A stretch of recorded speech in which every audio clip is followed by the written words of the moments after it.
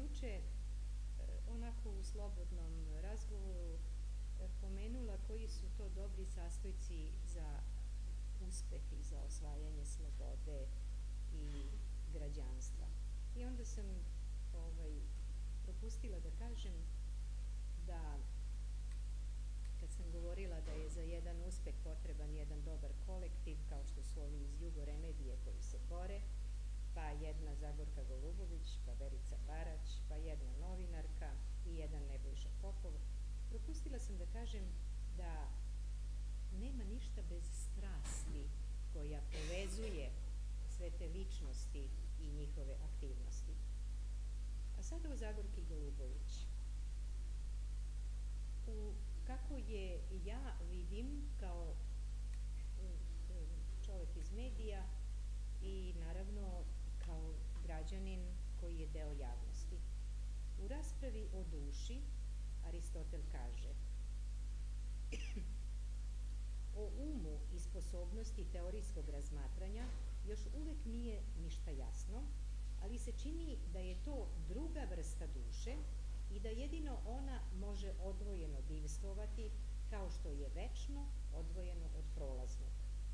Dakle, um, druga vrsta duše koja divstvuje odvojeno, razlikovanje večnog od prolaznog.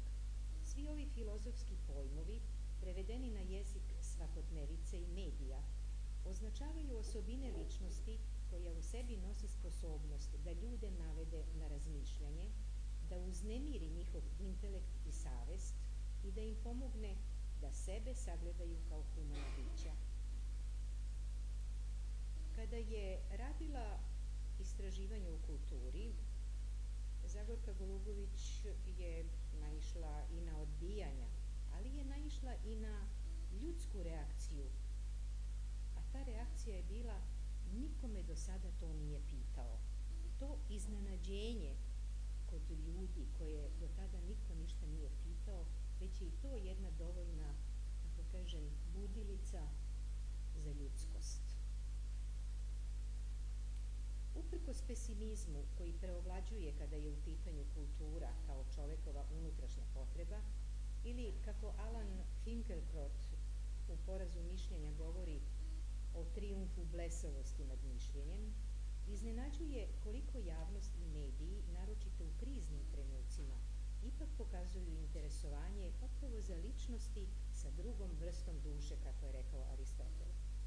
Zagorka Golubović, reklo bi se, je osuđena je da bude medijska ličnost i poznata u javnosti. Mediji, istupa, mediji i njene istupanje u javnosti uvek su imali značajno mesto u životu Zagorke Golubović i u njenom radu. U ostalom, u knjizi Sloboda i nasilje, koju je priredio Nebojša Popova i izdala Respublika, postoji jedan iskaz Zagorke Golubović iz kojeg se vidi da mediji u njenoj biografiji nisu bili samo posrednik između nje i javnosti, nego i glasnik, glasnik loših vesti. I evo njen tog navoda. Mi smo iz novina saznali da više nemamo, da, da više nismo nastavnici, to jest da nemamo pravo da predajemo, a nikad nismo dobili nikakav tekst koji bi obrazložio naše suspendovanje, iako smo stalno insistirali. Kako sam ja, kao tadašnji tadašnji čovek videla ovu stvar. Prvo, zanimalo me koja je ta žena jedina među tim otpuštenim muškarcima. E, drugo, Beograd je brujao o, otpuštenim profesorima. Tekstovi iz pera političara i zaduženih komentatora ništa nisu objašnjavali. A šta je radila javnost?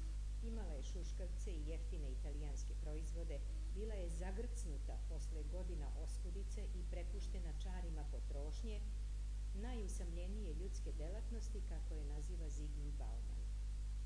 Međutim, bilo je i izude, izuzetaka. Pristojnim ljudima, takvih će uvek biti, uprkos menama kroz koje prolazi čovečanstvo.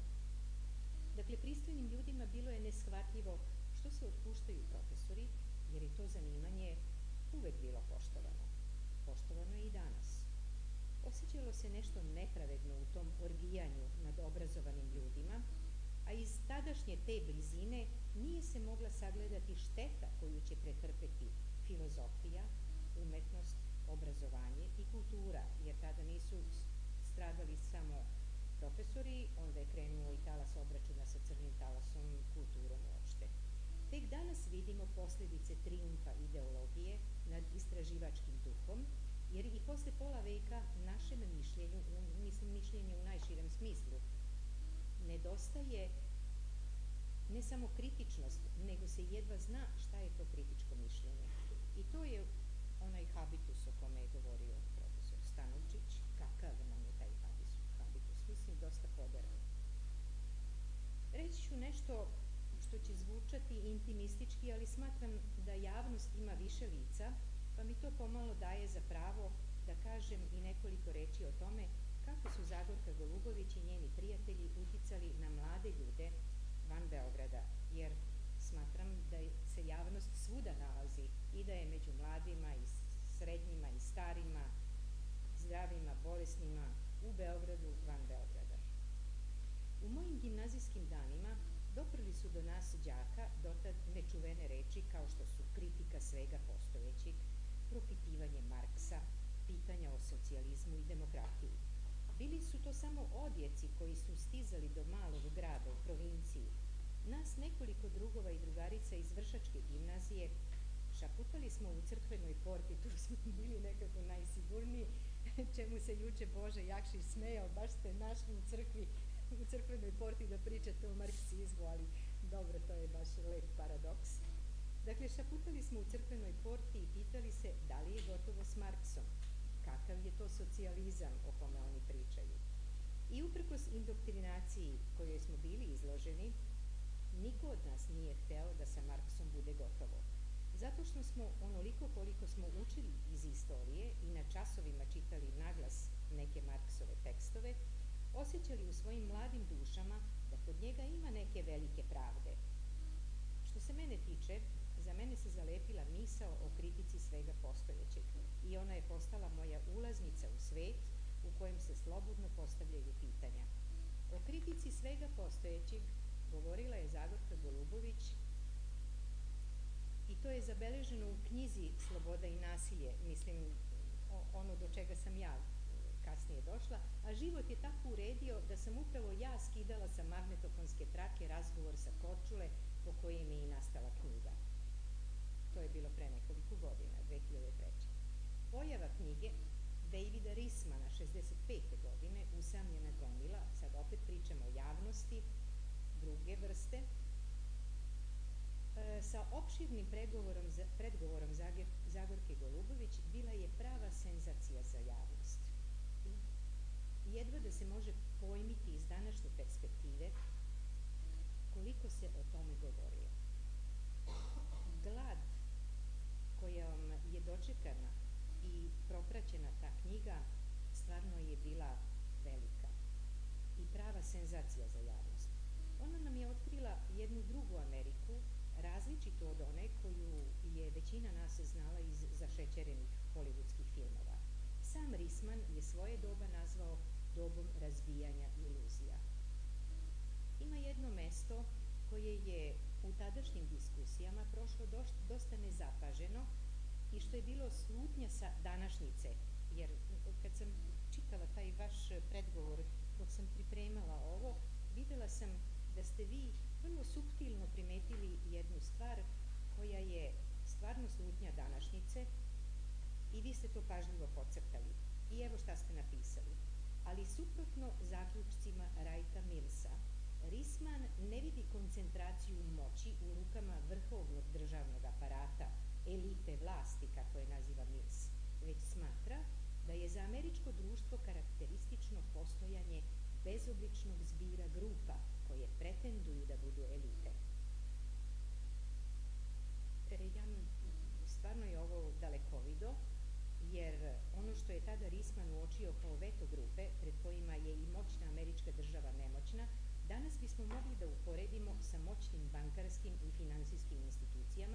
čija je pohlepa čovečanstvo skoro dovela do kataklizme. I pogledajte današnju naslovnu stranu politike na kojoj piše da su ovaj, ove da, bonusi bankara tajni i za Narodnu banku. Dakle, globalni svet je stigao i do nas. Zagorka Golubović je dakle, posle te knjige 60, 65. godine, ne govorim među, o šta je sve pisala, o tome je toliko bilo reči juče. Dakle, Zagorka Golubović je javnost opet prodrmala 2003. godine, kada je kao članica Saveta za borbu protiv korupcije sačinila obiman, obiman izveštaj o politici i procesu privatizacije.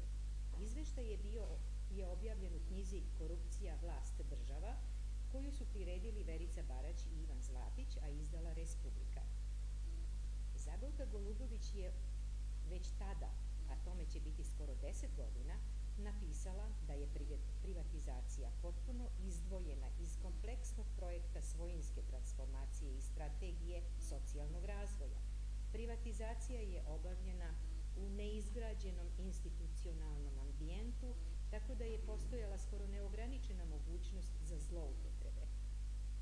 Jeres je bila što je u prvoj od 11 tačaka preporučila da se preispitaju svi slučajevi privatizacije u kojima postoji sumnja da je došlo do povrede zakona. I evo danas imamo e, upravo zahtev širokog dela radništva i Brisela da se povrede, da se te e, loše privatizacije preispitaju. Izveštaj su tadašnji ministar Aleksandar Vlahović, vlada, a naročito neoliberalni ekonomisti dočekali na nož. Ministar je taj Vlaković je u štampi taj iz, izveštaj ocenio kao nestručan, a iz krugova neoliberalnih ekonomista stizale su otrovne strele. Sa stranica lista Danas Boris Begović je Zagorki Golubović poručio knjige u šake, gospođo. Osim Blica, koji je objektivno predstavio izveštaj, ostali mediji su ga ignoristali ili su objavljivali samo odgovore i mišljenja ministra Vlakovića, a da, da se ne zna na šta on uopšte odgovara. Zagorka Golubović je primetbama i tekstovima u štampi, jer ona je nastavila taj svoj posao u vezi sa privatizacijom, dovela u pitanje neoliberalni koncept i time stekla neprijatelje među uticajnim ekonomistima. Sačekali su prvu zgodnu priliku da je kazne i ona je stigla u obliku cenzure. Naime, pod uticajem jednog od tih ekonomista, službeni glasnik sada već dugo ne objavljuje prevode dveju najboljih knjiga koje je priredila Zagorka Golubović i koje kritikuju neoliberalizam. O tom skandalu napisala je tekst koji je objavljen u Republici pod naslovom Imali cenzure danas. List, ideološke. Ideološke. List danas, taj tekst o cenzuri koji danas postoji nije hteo da. Ali kad je pitanju uh, ova knjiga Korupcija, vlast, država, ta knjiga je razgrabljena. Ljudi su masovno dolazili u našu redakciju i tražili da im damo tu knjigu. Dakle, vi ste pobudili jednu veliku radoznalost kod ljudi i želju da oni budu pravično tretirani. Tako da je ta knjiga danas ostala u samo jednom primerku u našoj redakciji mi je čuvamo kao oči u glavi. Zatim, na širok odjek naišla je knjiga koja je objavljena 2010. godine, Kultura i preobražaj Srbije, vrednostna usmerenja građana u promenama posle 2000. godine, koju je Zagorka Golubović napisala sa Isidorom Jarića, izdali službeni glasnik i Respublika. Reč je, to smo već čuli, je, juče o antropološkom pristupu kulturi i obimnom istraživanju koje je pokazalo da u Srbiji žene i muškarci mogu da žive bez kulture, šta me pitaš o kulturi, bio je čest odgovor, i da je ta kultura shvaćena kao roba koja se može ili ne mora kupiti. Nalaz istraživačica bio je infantilizam kao palanački duh, tradicionalizam, shvatanje sudbine kao usuda. Slika srpskog društva je sumorna, u njoj žive depersonalizovani, autoritarni, nepomični članovi autoritarnog kolektiva, a odjek modernog vremena koji je do njih stigao je postmodernistički nihilizam i relativizam. Ali je ako neko pomislio da će ovakav nalaz obeshrabriti Zagorku Golubović, prevario se. Uostalom, da sve nije tako jednoznačno i skoro izgubljeno, pokazali su organizovani radnički protesti među kojima je skoro epskih razmera protest radnika Jugoremedije. Njihovo iskustvo sadržano je u knjizi Radno mesto pod suncem radničke borbe u Srbiji, koju su izdali službeni glasnik i Respublika. Zagorka Golubović je mnogo puta bila među radnicima u Zrenjaninu i sa njima razgovarala u najlepšoj traditi, tradiciji praktičkog humaniste. Znala je da pred sobom ima ne samo radnike, nego i širu javnost. I tada im je rekla, odnosno jednom prilikom im u Jugoremediji je bila, sledeće im u Jugoremediji je bila radnička i građanska pobuna. Ako akcio, e, kao akcionari borili ste se za vlasnička prava, a kao građani za pravo na pobunu kada su vam ljudska prava ugrožena. Šta je u ovom slučaju bila javnost, inače podcenjivana i ignorisana u medijima? Ta javnost, to su bili radnici Jugoremedije i drugih uništenih fabrika, koji su organizovani u pokret za slobodu.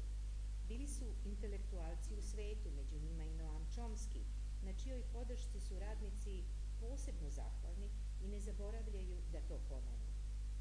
Zatim je deo javnosti i anketni odbor Zrenjaninske skupštine sastavljen od predstavnika svih lokalnih stranaka i svi oni su na svoj način pomagali da se spreči potpuno devastiranje Jugoremedije i bar malo stiša policijska hajka na vede direktora Jugoremedije Zdravka Deurića, radnika koji je rukovodio sedmogodišnjim radničkim protestom. Srbija sa svojim crnim i svetlim tačkama meni danas liči na pinhole naočare, mnogo crnog, kroz koje se u tačkicama probija svetlost.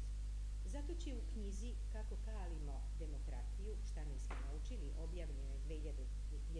godine, Zagorka Golubović reći da je potrebno otkriti pogubne posljedice taktike nečinjenja, ali i da se kreativna ličnost građanina ne može ostvariti u eri moralnog nihilizma. Knjiga je svedočanstvo prisustva Zagorke Golubović u javnosti, njenih razgovora sa novinarima, istupanja na tribinama, objavljenih tekstova u novinama. Ja sam tu knjigu opširnije predstavila u Republici, a poslužila sam se jednom rečenicom koju je Zagorka Golubović izgovorila – nije bilo slobode za one koji nisu hteli da se bore za slobodu. I mada se taj iskaz odnosi na vreme od pre 50 godina kada se Zagorka Golubović borila Tudova praksisa i tako dalje, i taj iskaz o tome da nije bilo slobode za one koji nisu hteli da se bore za nju, dat u kontekstu osude, kako je rekla, histeričnog antikomunizma ova rečenica je rečenica za sva vremena. Temom moralnog nihilizma i njegovog prevazilaženja Zagorka Golubović se bavila i u opširnom tekstu Da li je moguć drugačiji svet napisanom za Republiku 2007. godine. Da bi se prevazišao moralni nihilizam, potrebno je redefinisati ono što Habermas naziva demokratski etos, odnosno povezati legalitet i legitimitet, institucionalne procedure i pragmatički pristup sa vrednostno moralnim pretpostavkama. Primetila bih da umeđu vremenu globalistički sat otkucava donoseći novo vreme nejasnih i raspršenih strahova i nesigurnosti, kako veli Zygmunt Bauman. On govori o istrošenosti slobode, a Laurent Bonelli je uveo i termin liberticid, koji označava, kako kaže Bauman, kombinaciju novih dalekosežnih ambicija države i osjećanja nemoći i nezainteresovanosti državljana. Da li je ovo što govore Bauman i Bonelli varijacija nekadašnjeg otuđenja ili nešto novo, još dublje i beznadežnije, morat će da pokažu nova istraživanja. Kakav je čovekov izbor? Sigurnost, rizik, čutanje. Zagorka Golubović je u, izabrala da ne čuti. Ona je u emisiji Hoću da znam na TV 92 13. februara objasnila da je predsjedniku Tadiću napisala otvoreno pismo zato što je stanje u zemlji katastrofalno i zato što postoji veliko javno nezadovoljstvo lošom privatizacijom u kojoj se štite krivci, a kažnjavaju oni koji treba da budu oslonac promena. Intervju je završila rečima. Jedni mi kažu da imam ideale na kojima mi treba zavideti. Drugi me nazivaju Don Quixotom. Ali ja se neću opametiti dok sam živa. Moj princip je da se borim, da se moram boriti dok sam živa i da ne smem da ćutim. Šta je taj liberticid? Da li je to neki insekticid protiv čovečanstva koji može da proradi na pritisak nečijeg prsta i da nas sve odjednom potruje? Ne bih rekla. Liberticid to možemo da budemo mi kada ćutimo i kada mislimo da radimo za slobodu samo ako smo dobri profesionalci, a nije važno da li smo i dobri ljudi u onom Aristotelovom smislu, odnosno da razlikujemo večno od prolaznog. Na primjer, treba odgovoriti da li je nama večno postalo komfor, plata, korektnost, a sloboda nešto prolazno ili je stvar obrnuta. Zatim, šta je sloboda? Ljudi se plaše slobode zato što misle da je sloboda nešto kao osvajanje Himalaja, pa zato govorimo juriš na slobodu, tako smo vaspitavani, pa govorimo o partizanskim tradicijama, pa o slobodarskim tradicijama, sve je to tako nešto veliko i udaljeno, a sloboda je u stvari svaki naš korak, naša aktivnost na tome da poboljšamo svet i da suzimo pro prostor za totalitarizam. I sad imamo dovoljno materijala, što reče juče Nebojša povodom tužbe koju je Jugo Remedija podnela protiv države. To što zakoni ćute ili su, ili su ih razni Borisi Begovići skro, skrojili tako da budu, idu u korist opet nekim Miškovićima, stvara otuđuje nas i stvara, kako je rekao, građevinski materijal za nove totalitarizme. E, o Jugo Remediji sam dosta govorila. Mene kao čoveka je potreslo stanje na univerzitetu. Pogledajte, imali smo štrajk studenta. Imamo, tamo su nastavnici i filozofi. Juče smo, smo čuli mnogo reči o humanizmu, angažmanu i tako dalje. A ti protesti su prošli bez reakcije profesora. Je neko rekao Kovačeviću da učuti onda kad zove policiju da dođe da smiri stanje na univerzitetu? Da li je neko rekao rektor ovoj dekanici filološkog fakulteta da ćuti kada je kazala da se studenti bave politikom? Da li je to zabranjeno? Ostalo je zabranjeno. Na fakultetu političkih nauka juče čujemo da ima desničarskih organizacija. Čemu profesori uče studente? Imali, kakav je to odjek? Ja ne kažem da su profesori jedini krivci, ali mislim da je da, se, da treba da malo se osvrnemo na to kako svi pomalo i država i zakonodavstvo i izvršna vlast prave taj građevinski materijal za nove totalitarizme. I to kad e, Boris Tadić nije primio Zagorku Golubović. Nije Zagorka Golubović, ja bar tako doživljavam, spala na to da Tadiću priča kako su naši džepovi prazni i tako dalje. Jer misle ljudi mnogo kad se kaže stanje je katastrofalno da je to samo siromaštvo. Ne. To je upravo to stanje za stvaranje, e, ta, to da je naše društvo postalo kvasac za pravljenje novih totalitarizama.